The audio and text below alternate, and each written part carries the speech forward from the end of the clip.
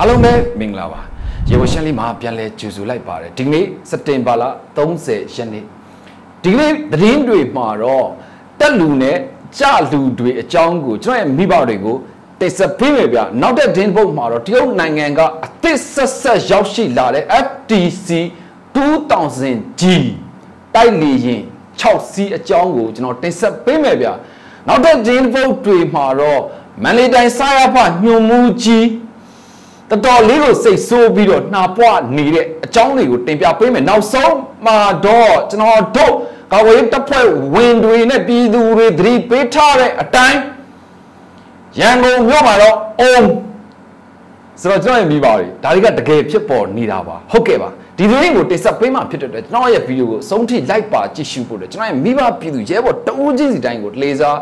ဖိတ်ခေါ်လိုက်ပါရစေကျွန်တော်ရဲ့မိပါတွေငွေ ငါစားမယ်ဆိုရင်လည်းပဲသတိလေးတော့ထားဗျာကျွန်တော်ကတော့သတိပေးရမှာကျွန်တော်တို့ရဲ့တာဝန်ပေါ့ဆိုတော့မွေးငါတစ်ပွဲကို1500ဖြစ်နေပြီမွေးငါစားပြီးတော့လက်ဖက်ရည်တောက်မယ်ဆိုရင်လည်းအစင်မပြေ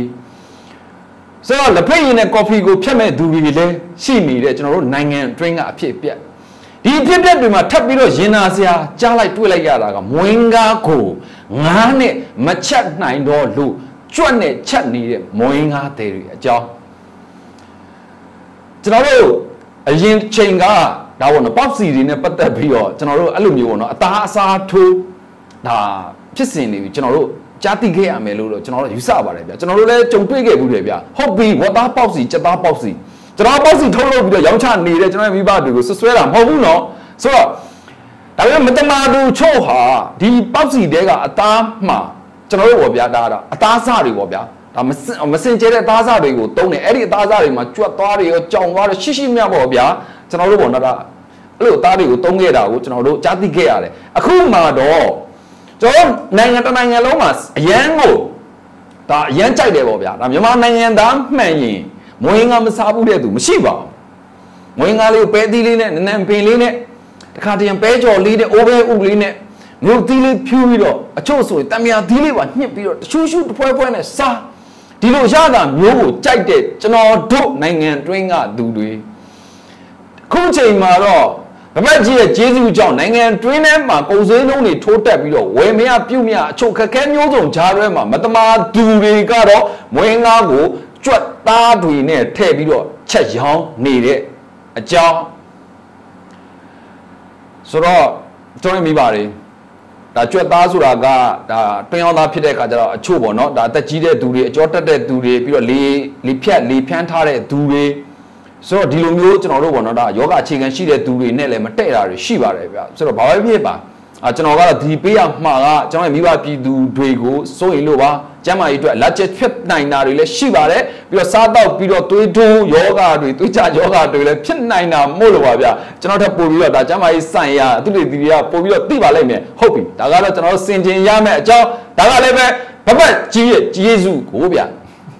ဟုတ်ကဲ့ပါဒီကျေးဇူးတွေကကျွန်တော်တို့တော်တော်လေးကိုဆက်နေရတာဆက်လို့မကုန်သေးဘူးထပ်ပြီးတော့လည်းဆက်အောင်မှကျွန်တော်မြည်ပါတယ်ဟုတ်ပြီနောက်ထပ်ပူပေါင်းကြံစီမှုလို့ပဲပြောရမလား ကြံရပါလို့ပဲဆိုရမလားတရုတ်နိုင်ငံရဲ့လက်ရှိအခင်းကျင်းဒါကကျွန်တော်တို့ပြည်သူတွေနဲ့ကျွန်တော်တို့ရဲ့မိဘတွေသိဖို့ရည်ကြီးတယ်ကျွန်တော်ရဲဘော်ရဲဘက်တွေကတော့ဒါကျွန်တော်တို့လုံးဝကိုအသေးဆွဲတဲဆွဲကျွန်တော်တို့ရှင်းရမယ့်ဘောင်ချတွေကျွန်တော်မနေ့ကလည်းတစ်ခါပြောပြီးသားတယ်စားခြင်းစားကြတော့မကြံမနဲ့အကုန်ရှင်းမှာကျွန်တော်တို့အဲ့ဒီဘောင်ချတွေပါအကုန်မှတ်ထားတာကျွန်တော်မြင်ပါတယ်တောင်းစရာရှိတဲ့အကျွေးကျွန်တော်တို့ကအတော်အရင်ရောအကုန်တောင်းမှာဟုတ်ပြီ တရုတ်နိုင်ငံကရောက်ရှိလာတဲ့တိုက်လေရင်6စီး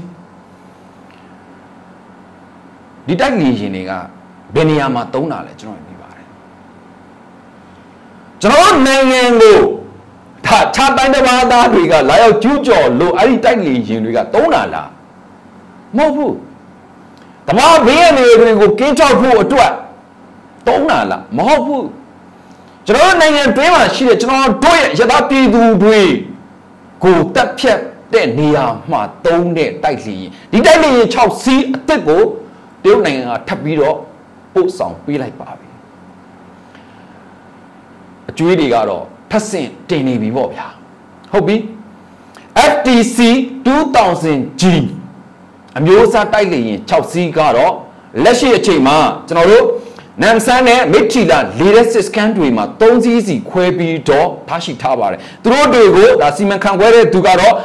လေရင်အုပ်မှုအဖြစ်ဒုပုံမှုကြီးဝင်းဟန်ဦးနဲ့ဒုအုပ်မှုဖြစ်ဘုံမှုဇေယာထွန်းတို့ကဦးစီးပြီးတော့ကျွန်တော်တို့ပြည်သူကိုနေရောညရောပါရဲရဲဆက်ဆက်ထပ်မံပြီးတော့ထပ်ပြတ်ပြပါအောင်တယ်ဒါကကျွန်တော်တို့သတိပြုရမယ့်အချက်ကိုကျွန်တော်တင်ပြနေတာကျွန်တော်တို့ကပြောပြီးသား တိုက်နေမကလို့နျူကလ িয়ার ပါကျဲတော့ဗျာဂရုကိုမစိုက်တော့လက်ရှိလည်းကျဲနေတာပဲကျွန်တော်မြင်ပါတယ်အရင်တော့ဆိုရင်ဒါပေါင်900ဘုံပြီးတော့တက်စတာ2ဆင့်ခွဲဘုံပြီးတော့မိလောင်ဘုံတွေဒါအပြင်ကျွန်တော်တို့ဒါဓာတုအစိတ်သင့်ကမာကြီးကပါကန့်သက်ထုတ်ချယ်ထားပါတယ်ဆိုတော့ ဘုံအမျိုးအစားမျိုးစုံကိုကျွန်တော်တို့နိုင်ငံအတွင်းထဲမှာကျွန်တော်တို့ရဲ့နေအိမ်ခေါင်းပေါ်ကိုတဲ့တဲ့ကျဲချခဲ့တဲ့ဖြစ်ရက်တွေအမြောက်များဖြစ်ခဲ့ပြီးသားဒါကိုလည်းကဘာကြီးကတည်ပြီးသားဒီချိန်ဒီကာလမှာလည်းပဲသူတို့တွေရက်ဆက်မှုပေါင်းတရဖူစောင်းပြီးတော့ဆက်မှန်ပြီးတော့လှုပ်ဆောင်နေစေဒါမရိယာဆိုရင်ကျွန်တော်ကင်ပြည်နယ်တွင်းမှာပေါင်900မဟုတ်ဘဲနဲ့ပေါင်1000ဘိုးတွေပါလာရောက်ကျဲသွားတအုံးအုံးတိုင်းတိုင်းပဲတိုက်ပွဲတွေပြင်းထန်နေတယ်ကျွန်တော်ရင်ပြပါတယ် KNU ရဲ့စေးမာပြူဟာအောက်မှာလဲခွေးမီဖုတ်ခွေးပြာပုံတိုးနေတဲ့ဘဝအပြင်ခွေးငတ်ပြတ်စုပ်ပြတ်တတ်နေတဲ့အခြေအနေရှိတယ်ကျွန်တော်မြင်ပါတယ်ရှိတယ်ခေါင်းမထွက်နဲ့ခေါင်းထွက်ရင်အပွင့်ခြေထောက်မထွက်နဲ့ခြေထောက်ထွက်ရင်အပြက်အလံဖြူထောင်ဖို့လက်လက်ထောင်ရင်တော့မှအလံဖြူအလံဖြူကြီးကြီးထောင်ဖို့ဗျာ အော်ကျွန်တော်တို့မျက်စိမကောင်းကျွန်တော်ရင်မိပါတယ်ဒါပွင့်လင်းပြောတာကျွန်တော်တို့တိုက်ပွဲတွေတွင်မှာတော့နေရာလဲပူနေတယ်ဗျာဟောကျွန်တော်ရင်မိပါတယ်24နာရီပြနေရောညရောတိုက်နေတဲ့တိုက်ပွဲတွေမှာ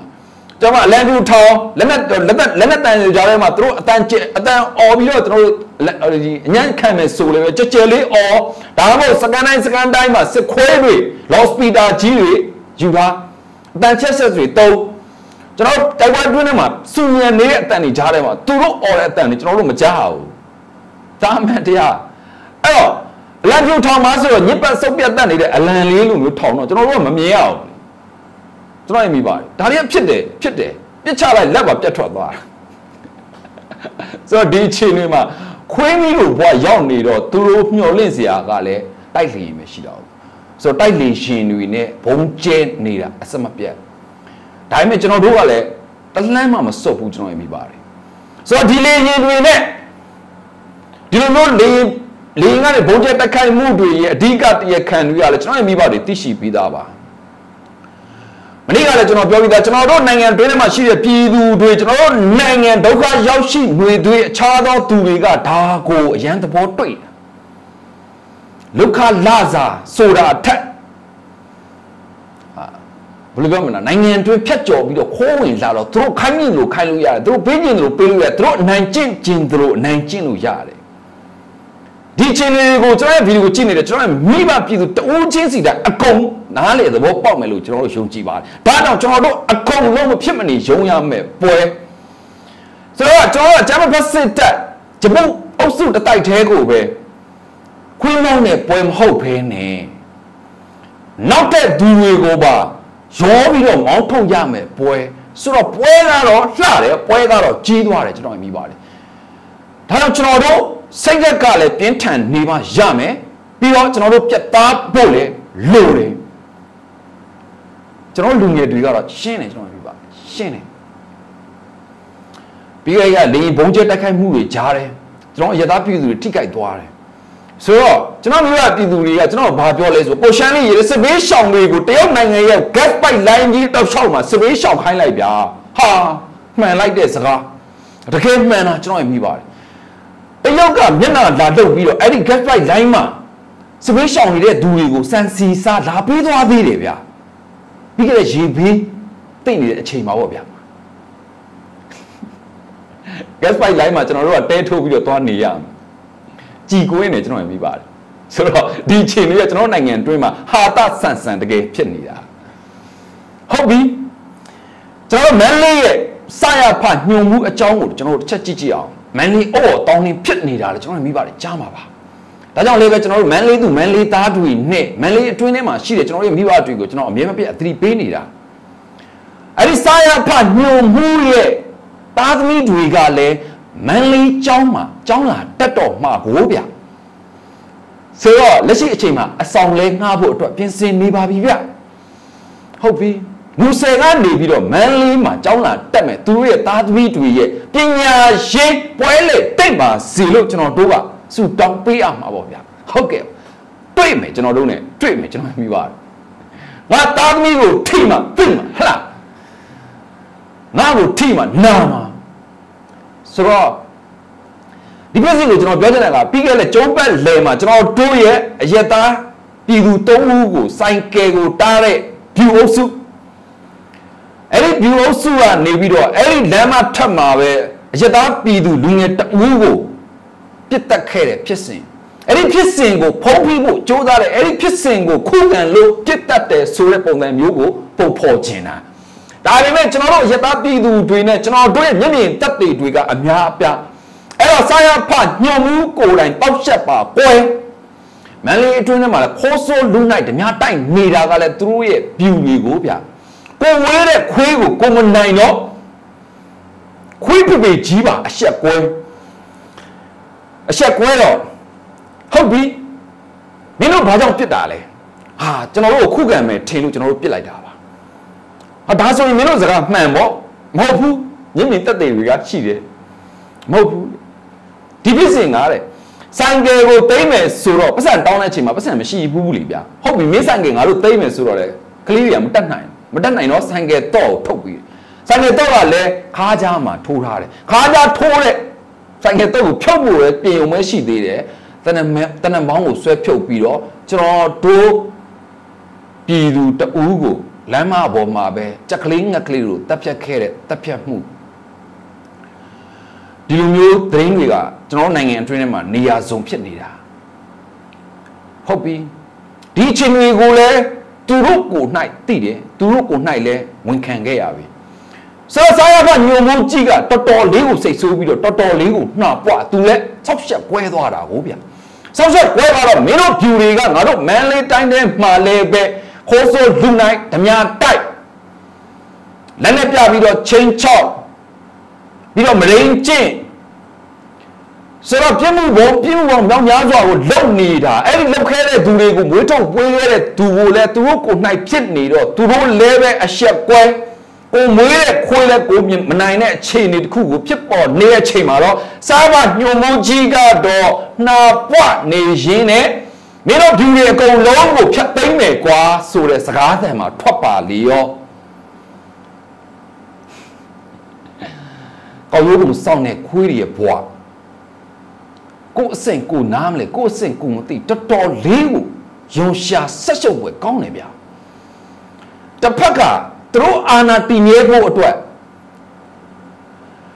သူတို့ရဲ့ကုံရောပေါင်းကိုစောင့်ဖို့အတွက်ဒီခွေးတွေကိုအတုံးချနေတာအယိုးရင်းလေးတွေပေးကြိုက်ထားတာအယိုးလေးကိုရှာနဲ့ပေးရက်ထားတာဆိုတော့ဒီအချိန်တွေမှာပျော်မွေ့ပြီးတော့ပူပေါင်းလာတဲ့ view အုပ်စုအပေါ်ကနေဖိလဲခံရတယ် ပြီးတော့အပေါ်လုံးသမျှလည်းခံရတယ်အပေါ်ကဆွဆွဲသမျှလည်းအကုန်ခံရတယ်သူတို့ကိုနှိုက်ကလည်းပြစ်မှုမျိုးစုံနဲ့သူတို့ကလည်းဒီအခြေအနေဒီခွင့်ရေးကိုရယူချင်တာဗောဗျလွယ်လွယ်မှမှန်မှန်ကန်ကန်မှလုံမစားခဲ့တဲ့ကောင်တွေကိုငကိုတွေကလည်းအရေးချင်းမရှိတဲ့သူတွေတွားစုအခုချိန်မှာတော့ကျွန်တော်မန်လေးမြို့တွင်းမှာရှိတဲ့ပြူတွေကိုဖြတ်သိမ်းမယ်ဖြတ်သိမ်းမယ်ဆိုတဲ့ညွန်မှုရဲ့အတန် ညွန်မှုရဲ့အမိတ်ဘယ်လောက်ထိတည်မြဲမလဲဆိုတော့ကျွန်တော်တို့စောင့်ကြည့်ရမယ်ကျွန်တော်မိဘတွေကိုကျွန်တော်ကတည်ပြပို့ထားပါကျွန်တော်ညွန်မှုရဲ့သားသမီးတွေလည်းမန်လေးမှာကြောင်းတက်မယ်ဆိုတဲ့အကြောင်းကိုကျွန်တော်ရဲ့မိဘတွေကိုကျွန်တော်ပြန်လည်ပြီးတော့ဖောက်တယ်ချလိုက်ခြင်းဖြစ်ပါတယ်ဗျဟုတ်ကဲ့ပါသူရဲ့ဘဘကြီးသူရဲ့သားသမီးတွေကိုတော့နေရမျိုးစုံကနေရွှေ့ပြောင်းပြီးတော့ကျောင်းတွေထားဖို့ဗျာကျွန်တော်တို့ရသပြည်သူတွေကျွန်တော်တို့ကလေးငယ်တွေကိုတော့လေနဲ့ပတ်ပြီးတော့ဘုံကျဲနေတဲ့အကြမ်းပဲဖတ်စစ်အဖွဲ့ ဟုတ်တယ်နော်ကျွန်တော်မြင်ပါတယ်ဟုတ်ကဲ့ပါဒီကနေ့ကျွန်တော်နောက်တဲ့သတင်းကိုမပြောခင်ပါရန်ကုန်တိုင်းထဲမှာရှိတဲ့တအောင်အောင်တဖုံဖုံတွေကိုကျွန်တော်မပြောခင်ပါဒါဒီနေ့ဒီနေ့ကျွန်တော်ငါနှစ်ကောင်ဖမ်းမိပါတယ်ဒါငါးနှစ်ကောင်ဖမ်းမိတဲ့အချိန်မှာကျွန်တော်ဒီငါကျွန်တော်မသိဘူးဗျကျွန်တော်မသိတော့ကျွန်တော်ဘာငါမှမသိဘူးဘာမှမသိတော့ကျွန်တော်မိပါတော့ကျွန်တော်ရေးပေါ် challenge ဟို Telegram မှာကျွန်တော်တင်လိုက်တယ်ပေါ့နော်ဆိုတော့ကျွန်တော်ဒါဟုတ်ဘယ်လိုချက်ရမလဲပေါ့နော်ဒါငါဒီငါကဘာငါလဲပေါ့နော် ဆိုတော့ကျွန်တော်တို့ကကျွန်တော်ကတော့ဒီငါကိုကြည့်လိုက်တော့ဗျာဘိုက်ကလည်းပူတယ်ရုပ်ကလည်းတော်တော်ဆိုးတယ်ဗျာငါအကောင်ကလည်းကြီးတယ်ဗျာ2ကီလိုကို3ကီလိုလောက်ရှိဆိုတော့ဟိုကြောက်ရမလားချက်ရမလားပြုတ်ကမလားပေါ့ဗျာဒီလိုမျိုးဝေခွဲမရတဲ့အချိန်မှာကျွန်တော်အမြဲတမ်းကျွန်တော်ရဲ့ Telegram မှာကျွန်တော်မိဘတွေအကြံဉာဏ်တောင်းနေကြဆိုတော့ကျွန်တော်မိဘတွေကအဲ့ဒီမှာကျွန်တော်ပြောလာဟာကိုရှမ်းလေးတဲ့အဲ့ဒီငါးကတော်တော်ကောင်းပြီးတော့တော်တော်ဈေးကြီးတယ်ငါဟာဟာ ကိုကနမေတာမသိတာငါးနမေလည်းကျွန်တော်မသိဘူးစားလည်းမစားဘူးကျွန်တော်မိပါတယ်ဒါကျွန်တော်ဖမ်းမိတာနော်ကျွန်တော်အင်းအိုင်ဒီမှာကျွန်တော်ဖမ်းမိတယ်ငါးဆိုတော့အဲ့ဒီငါးကဗာလေကတဘောငါးလို့ခေါ်ပါတယ်တဲ့ဒီငါးကတဲ့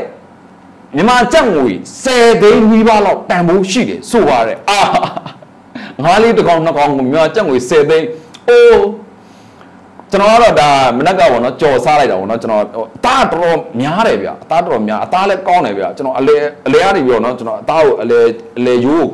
ဟိုပေါ့နော်ဟိုဖြစ်ပြီးတော့အသားကြီးပဲကိုကျွန်တော်အပြားလိုက်ပေါ့ပြားလိုက်ကြော်ကြော်ပြီးတော့စားလိုက်တယ်ဗျအဲ့မှာကျွန်တော်မိဘတွေကချက်နီးပြုတ်နီးတယ်အမြဲတမ်းကျွန်တော်ကူညီပေးတယ်ပြောပြပေးတဲ့အတွက်လည်းကျွန်တော်ကျေးဇူးအများကြီးတင်ပါတယ်လက်ရှိနိုင်ငံအတွင်းမှာဒါပေါ့နော်အရှင်းမှာဆိုရင်မွေးငါးကိုကြွက်နဲ့ချက်ပြီးတော့ရောင်းနေတဲ့အခြေအနေကျွန်တော်ပြည်သူတွေမသိဘဲနဲ့စားနေကြတဲ့ အနေအထားမှာကျွန်တော်ကမြန်မာကြက်တွေ10သိန်းတန်ငါးကြီးကိုစားလိုက်ရတာကျွန်တော်လိတ်တာကျွန်တော်မလုံဖြစ်သွားပါတယ်ကျွန်တော်မိပါတယ်ဆိုတော့အမြဲတမ်းကျွန်တော်ပေါ့နော်ကျွန်တော်ရဲ့မိသားစုတွေကျွန်တော်ရဲ့ကိုကိုတူကိုသားသမီးလိုမျိုးသဘောထားပြီးတော့အခုလိုမျိုးကြံကြံပေးတာတွေကျွန်တော်မသိတဲ့အကြောင်းအရာတွေကိုလည်းဒါဒါဝိုင်းပြီးတော့ပြောပြပေးတဲ့ကျွန်တော်ရဲ့မိဘညီကိုမောင်တော့တိုးချင်းစီတိုင်းကိုကျွန်တော်ကျေးဇူးအထူးတင်ရှိပါတယ်ဗျဟုတ်ကဲ့ပါကျွန်တော်တို့နောက်ထပ်တင်းလေးတစ်ခုကြည့်အောင်အဲ့ဒါကတော့ရန်ကုန်မှာဈေးဥပေါက်သွားပါတယ်ခင်ဗျ ကျွန်တော်တို့ပြောပြီးသားကျွန်တော်တို့အမြဲတမ်းတိုက်ပွဲတွေဆိုလဲကျွန်တော်တို့ပြောပြီးတော့မှတိုက်တယ်ကျွန်တော်ပြီးပါတယ်ကျွန်တော်အစစ်စင်ရေးတွေဆိုလဲပြောပြီးတော့မှလုတ်ပါတယ်ဒီဘေးသားတွေကိုအချိန်ဉာဏ်ထုတ်ပြန်ပြီးတော့မှကျွန်တော်တို့စစ်စင်ရေးတိုင်းကိုစီမံဆောင်ရွက်ပါတယ်ဒါကိုကျွန်တော်မိပါတယ်သတိပြုမိမယ်လို့ကျွန်တော်ယုံကြည်ပါတယ်ဒါဆရာဆရာမတွေနဲ့ပတ်သက်ပြီးတော့ကျွန်တော်သတင်းထုတ်ပြန်ခဲ့တယ် ပြီးတော့အုတ်ကြီးလိုလိုရက်ကြီးလိုလိုကြန့်ဖို့လိုလိုဟိုလိုလိုဒီလိုလိုရောင်ဝါဝါလိုက်နေတဲ့သူတွေကိုလည်းကျွန်တော်တို့သတင်းထုတ်ပြန်ခဲ့တယ်အကြမ်းဖက်စစ်တက်ရဲ့လက်ပါစီတွေနဲ့ဝေးရဲ့နေရာမှာနေထိုင်ဖို့အတွက်ဆိုတော့ဖြစ်သွားပြီဆိုရင်တော့ကျွန်တော်တို့ကိုအဆုံးမစုံနဲ့လို့ကျွန်တော်တို့ပြောပြီးသားလက်ရှိအချိန်ကကျွန်တော်တို့နိုင်ငံကိုထပ်ပြီးတော့လူတက်ဖို့အတွက်ပြင်ဆင်နေတဲ့တကောင်စင်းနဲ့ရွေးကောက်ပွဲကိစ္စကျွန်တော်ရသပြည်သူတွေရဲ့ခေါင်းပေါ်ကိုဘုံတီထက်ကျဲဖို့အတွက် သူတို့ရဲ့တက်တန်းတွေကိုဆွဲဆန့်တော့မယ်ရွေးကောက်ပွဲဆိုတော့ဒီရွေးကောက်ပွဲနဲ့ပတ်သက်ပြီးတော့ကျွန်တော်တို့မြို့နယ်ဒေတာတီးတီးကျေးရွာဒေတာတီးတီးမှာတကောင်စင်းကောက်ယူနေတဲ့အုပ်ကြီးနဲ့အပေါင်းပါပြီးတော့ဆရာဆရာမတိုက်ပြီးတော့ခုနကတော့ကျွန်တော်ရှေ့မှာပြောသလိုရောင်ဝါဝါကောင်းနေဒီချိန်ကသူတို့ရဲ့အခွင့်အရေးလူဖြစ်နေတာပညာရှိပညာတတ်တွေကကျွန်တော်တို့လက်နက်ကင်နေတဲ့အချိန် တကယ်ကိုရေချင်းရှိတဲ့သူတွေက CDM တွေလှုပ်ပြီးတော့ပြည်သူနဲ့အတူတူတွန်းလှန်နေတဲ့အချိန်မှာဘာရေချင်းမှမရှိဘဲနဲ့လူမနွားကျွန်တော်မိဘပြောတဲ့စကားတခုတော့မှတ်မိသေးတယ်ကိုရှမ်းလေးရဲ့နွားနဲ့မခိုင်းနိုင်ပါနဲ့နွားကားတဲ့အသားစားလို့ရသေးတယ်အဲ့ဒီခွေးခွေးပြီးခွေးပုတ်တွေကသူတို့အသားလဲစားမရဘာတန်မိုးမှမရှိလို့နွားနဲ့တော့မခိုင်းနိုင်ပါနဲ့ဟုတ်ကဲ့ပါကျွန်တော်တို့လည်းခိုင်းနိုင်စရာဘာတစ်ခုမှမရှိတော့ဘူးကျွန်တော်မိပါတယ်တကယ်လူငနွား စုပ်ပြတ်တတ်နေတဲ့နှုံချနေတဲ့ကောင်တွေကဟိတ်ကြီးဟန်ကြီးတွေနဲ့လူကြီးလိုလိုဘာလိုလိုလှုပ်ချင်တဲ့ကောင်တွေအခုတော့ရန်ကုန်ကြီးမနိုင်မှစက်ငင်စက်ငင်ဖြစ်နေရပြီပေါ့ဗျာရန်ကုန်မြို့နယ်အတွင်းထဲမှာနှစ်နေရာကိုတပြိုင်တည်းဘုံခွဲတိုက်ခိုက်မှုဆိုတော့ဒါကိုပုံဖြတ်တဲ့သူကလည်းပဲအလူရှင်တွေပေးပို့ထားတဲ့စံအိတ်ကနေတော့ဘုံပေါက်ကွဲတယ်ဆိုပြီးတော့အလူရှင်တော်မှပြဿနာရှာမဲ့ပုံစံမျိုး ဆိုတော့ဒီချင်းတွေကတော့ဒါသူတို့ရဲ့ lobby တွေရဲ့ပုံမှန်အတန်ပေါ့ဗျာကျွန်တော်ပြောချင်တာကတော့လက်ရှိဒါရုပ်ောက်ပွဲနဲ့ပတ်သက်ပြီးပဲဖြစ်ဖြစ်ဘလို့ချင်းတွေမျိုးမှာပဲဖြစ်ဖြစ်ရတာပြည်သူတွေအနေနဲ့အုပ်ချုပ်ရေးရန်နေရာနဲ့ဝေးတဲ့နေရာမှာနေထိုင်ပေးပါဒါတွေကအမှန်တကယ်လောက်မှကျွန်တော်မြင်ပါတယ်ဒါကြောင့်လည်းပဲကျွန်တော်ချိန်ဖန်များစွာသတိပေးနေကြဖြစ်တယ်ဗျဟုတ်ပြီ ဒါတွေနဲ့ဆက်ဆက်ပြီးတော့လည်းပဲလက်ရှိအချိန်မှာအကြမ်းဖက်စစ်တပ်ကသူတို့ရဲ့စစ်မှုထမ်းဥပဒေအပတ်စဉ်6စတင်ပြီးတော့လူစုထားပြီးပါပြီခေါ်လဲခေါ်ထားပြီးပါပြီခေါ်ထားတဲ့သူတွေကကျွန်တော်တို့နိုင်ငံတွင်းထဲမှာရှိတဲ့လူငယ်အသီးသီးကိုနေရာမျိုးစုံကအတင်းအဓမ္မဖမ်းဆီးလာတဲ့သူတွေဖြစ်ပါတယ်များသောအားဖြင့်ကျွန်တော်တို့တွေ့ရတာက KTV မှာဒါ အပျော်ပါသွားနေတဲ့လူငယ်မောင်မယ်တွေ KTV အတွင်းထဲဒီဝင်ဖမ်းတာเนาะကျွန်တော်ရင်မိပါတယ်နောက်တစ်ခု club တွေ bar တွေ restaurant တွေ beer ဆိုင်တွေအရက်ဆိုင်တွေမှာအထဲထိဝင်ဖမ်းတခါတည်းမှာအပြင်ကနေစောင့်ဖမ်းပြီးတော့ဖမ်းနေတဲ့အခါကြီးတက်မှာငွေ10သိန်းကနေပြီးတော့အဲ့ဒီ10သိန်းအထက်ပေးနိုင်တဲ့သူတွေကိုပြန်လွတ်ပေးနိုင်တဲ့သူတွေကိုတော့တခါလဲတန်ဖို့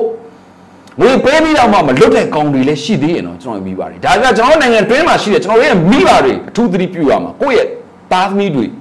ဘယ်လန်းကိုရွေးခိုင်းမှလဲဆိုတာကိုကျွန်တော်လည်းပြတ်သားဖို့လိုနေပါပြီဗျဟုတ်ကဲ့ပါကျွန်တော်မိပါတယ်ဒီအချိန်တွေကကျွန်တော်တို့လူငယ်တွေကိုတေတွေနဲ့ကိုထိုးချနေတဲ့အကြမ်းမဲ့ဖက်စစ်ခွေးဆိုတော့ကိုသားသမီးတွေဒီနိုင်ငံတွင်းထဲမှာစက်ပြီးတော့အသေးခံခိုင်းအောင်မှာလားကျွန်တော်မိပါတယ်ရွေးချယ်ပါတော့လို့ကျွန်တော်ကပြောတာကျွန်တော်တို့ကတော့ လာတော့မှာဆိုတော့ဟုတ်ပြီလက်ရှိမြောက်ပိုင်းတိုင်းစစ်စင်ရေးနဲ့တောင်ပိုင်းတိုင်းစစ်စင်ရေးပြီးတော့လေပိုင်းတိုင်းစစ်ဒေသရဲ့စစ်ရေးစီမံဆောင်ရွက်ချက်တွေဒီချင်းတွေမှာကျွန်တော်ရဲ့မိဘတွေအထူးသတိပြုဆင်ခြင်ပေးပါဆိုတော့မြောက်ပိုင်းမှာဒီရှမ်းမန်းစီတို့တောင်ပိုင်းမှာဒီရန်ကုန်ဘိုး ARV တို့ကျွန်တော်တို့ကတတ်မှတ်ပြီးသားဘယ်တော့မှပြောင်းလဲမှာမဟုတ်ဘူးကျွန်တော်ရဲ့မိဘတွေ ARV လက်ထုံနေတကောင်းပဲ ARV ကိုဆင်းလာတဲ့အကြမ်းဖက်ဖက်စစ်ခေါင်းဆောင်တွေကို ARV ရသူတွေကမျက်နှာရနေပြီသတင်းတွေအတိအကျရထားပါဟာ ARV တိုင်းမှာတကယ်ကိုတည်ငြိမ်အေးချမ်းနေတော့ဘဘကြီးကတောင်မှချီးကျူးရတဲ့ ARV ရဲ့အုပ်ချုပ်ရေးအဖွဲ့ပေါ့ဗျာ ARV သားတွေလာမှာ ARV ထဲမှာရှိတဲ့ကျန်တဲ့ဖက်စစ်ခွေးတွေအကုန်လုံးကိုကြီးမကုန်ဘဲနဲ့တကောင်ချင်းစီတိုင်းကိုရေနှစ်တက်လို့ရတယ်ကျွန်တော်မြင်ပါတယ်ဒါကျွန်တော်ပုံမှန်လေးလေးပြောတာဒါကျွန်တော်ပြောတဲ့စကားမဟုတ်ဘူး ARV သားတွေပြောတဲ့စကားအဲ့ဒီခွေးတွေအကုန်လုံးကိုတကောင်ချင်းစီတိုင်းကိုရေနှစ်ပြရှမ်းလေးတယ်ကြိုက်ပြီကျွန်တော်ပြောပြီးသား ARV တို့အချမ်းဆုံး fighter တွေလာမှာမင်းတို့ ဒီလိုလည်းလုပ်လို့မရဘူးဒီလိုလည်းလုပ်လို့မရဘူးပြင်းရင်လွတ်မှာမဟုတ်ဘူးရင်နှစ်တက်ပြင်းမယ်လို့ကျွန်တော်တို့သိထားရပါတယ်ဟုတ်ကဲ့ပါဒီချိန်မှာတော့ပျော်ထားအောင်ပေါ့ဗျပျော်ထားအောင်ပေါ့ ARV ကလည်းကရင်ပြီနေထိုင်ကျစားတဲ့နေရာနော်အရကတက်တော့ AA ကလည်းဒါရခိုင်မုတ်ပြီတောက်ပြီးသွားရင်ရခိုင်မုတ်ပြီတွေကျွေးပြီးသွားရင်ဒါဟုတ်ရှိနေပါတယ်ကျွန်တော်မြင်ပါတယ်ဟုတ်ကဲ့ပါ ဒီကနေ့ရဲ့သတင်းတွေမှာတော့ကျွန်တော်တို့မိဘပြည်သူတွေသတိပြုစင်ကျင်ရမယ်အစားအသောက်မဝင်ကားကိစ္စတွေလည်းပါတယ်အကြမ်းမဲ့ဖက်စစ်တက်ကိုထောက်ပံ့ပေးနေတဲ့အကောကြီးအကြောင်းတွေကိုလည်းကျွန်တော်မိဘတွေသိရှိပြီးဖြစ်မှာပါဒီနေ့ညီကုန်းကျုပ်စကားလွှေးကိုကျွန်တော်ရဲ့မိဘပြည်သူတဦးကပေးပို့လာတဲ့စာလေးနဲ့ကျွန်တော်ရုပ်ဖတ်ပြရင်းနဲ့ညီကုန်းကျုပ်ချင်ပါတယ်ဗျဟုတ်ကဲ့ပါကျောသားရင်သားမခွဲကြပဲညီကောင်းလန်းညွန်တွန်တင်ပေးခဲ့တဲ့အမေအိုဒီမိုကရေစီမို့ရီ ငါးနှစ်တာတောက်သုံးခဲ့ရတဲ့ပြည်သူများမမေ့နိုင်ညာဖက်စစ်အောက်ကိုဒူးမထောက်လို့ရရလက်နဲ့ဆွဲကင်လျက်ပြည်သူခွန်အားတိုင်းရင်သားတို့အမြင့်ပါမကြမ်းတောလှန်ကြစို့အများပြည်သူထောက်ဖို့လှူလို့အမေအိုနဲ့တားလရနာတို့ဘေးကင်းစေကြောင်းစုမွန်တောင်းပါသည်ရေးတော်ဘုံ အောင်ရမဲဆိုတဲ့ကျွန်တော်ရဲ့မိဘတူရေးသားပြဖို့အတွက်စာလေးကိုဖတ်ပြရင်းနဲ့ဒီနေ့ဗီဒီယိုအဆုံးသတ်ချင်ပါတယ်ဗျာနောက်လာတဲ့ဗီဒီယိုတွေကိုဒီထက်ပိုကောင်းအောင်ကျွန်တော်စူးစမ်းနေပါတယ်လက်နဲ့ပေးစစ်ပေးကပ်ပေးနဲ့မအိမ်ဘေးမှာကြောက်ရောက်နေတဲ့ကျွန်တော်တို့နိုင်ငံတွင်းမှာရှိတဲ့မိဘပြည်သူရဲဘော်ရဲဘော်တိုးချင်းစီတိုင်းဘေးနဲ့ကင်းရှင်းပါစကြောင်းလေးလေးနဲ့စုမုံကောင်တောင်းပေးရှင်းနဲ့ဒီနေ့ဗီဒီယိုကိုဆုံးသက်ပြစေကျွန်တော်ရဲဘော်ရှမ်းလေးပါဗျာ